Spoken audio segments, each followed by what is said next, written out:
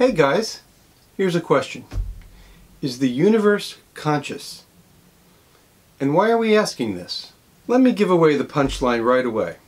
I believe the universe is conscious according to my own particular way of thinking about the question. I'll get to that in the next video. But there is debate, speculation, and controversy about this far-reaching conjecture about the consciousness of the universe. Is the universe itself conscious? And if so, in what way? I don't know the answer. And it would be remarkable if I did, because as far as I know, no one knows the answer. But many are intensely interested in this question, holding a variety of viewpoints about it.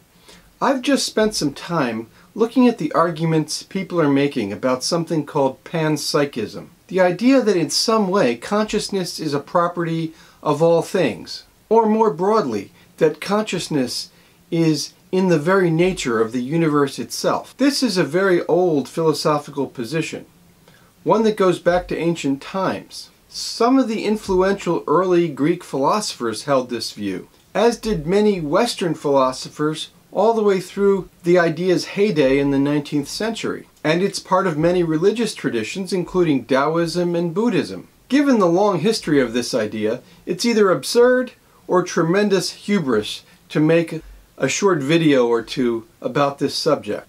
And so to this I have to plead guilty. So let me lay out the plan for talking about this fascinating topic that's making the rounds in scientific, computer science, and philosophical circles. Today I want to get at why this question is timely and why it's making a comeback now after lying relatively dormant for much of the 20th century. In the next video, I want to look at some of the major arguments for panpsychism some of the approaches to thinking about it, and to give my own thoughts on the matter, as limited and hard-headed as they may be. One problem with a discussion like this is defining what we mean by consciousness. Traditionally, the word seems to connote something about the subjective nature of experience. It gets talked about in terms of awareness, either awareness of the external or awareness of something within oneself.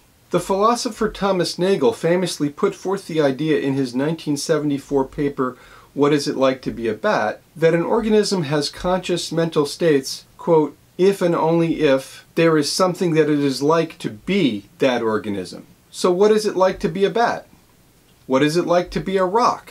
According to this view, if there is nothing that it is like to be a rock, then a rock lacks consciousness or conscious experience people tend to have an intuitive sense of what we're talking about when we talk about consciousness. But it remains to be seen whether that idea is coherent, and whether that idea is narrowly focused on human consciousness rather than on consciousness in some broader sense. Does it apply to dogs? Yes, many people may say dogs are conscious, but may be conscious in a sense that is different from human consciousness. What about fish? Are fish conscious? Well, maybe there is something that it is like to be a fish. How about rocks? Hmm, a lot of differing opinions there among conscious humans. My informal survey of those around me is that after demanding a definition of consciousness, people are voting down the idea of rock consciousness. So perhaps there's a common sense intuition that rocks do not have consciousness. Well, intuition has its place, but it would be nice to have a firmer foundation on which to stand. Panpsychism diminished as a mainstream concept after the 19th century, although it always did have some influential advocates throughout the 20th century, including Carl Jung, Alfred North Whitehead, and arguably Bertrand Russell. But the idea is undergoing a renaissance in recent years. Why? At least two reasons. The traditional scientific view is that consciousness emerges out of the functioning of the human brain. Without neurons firing, there is no consciousness. This is the materialist point of view. But science has increasingly run up against the limits of a strictly scientific materialism. For example, our inability to bridge the gap between general relativity and quantum mechanics.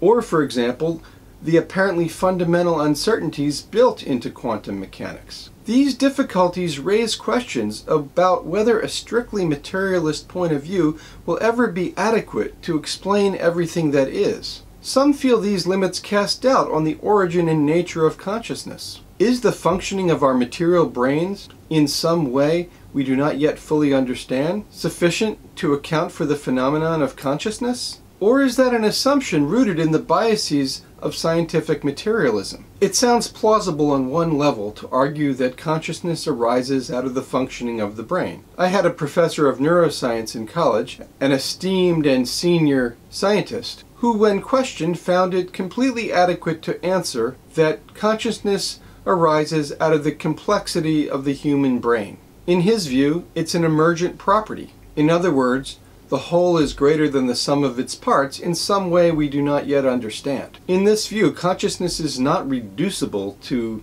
the parts of the brain, but is a higher level phenomenon that emerges out of lower level properties and functioning, and there is something about the complexity of the system that accounts for this. He was content to leave it there without addressing what causal agency accounts for the emergent properties. It seems a little like magic. Somehow, with adequate complexity, a new thing, not seen in any of its component parts, is ignited, and presto, we have consciousness. There is no proof in this argument. To me, it's a comforting story, one that could be true or could not be true in the absence of any convincing proof.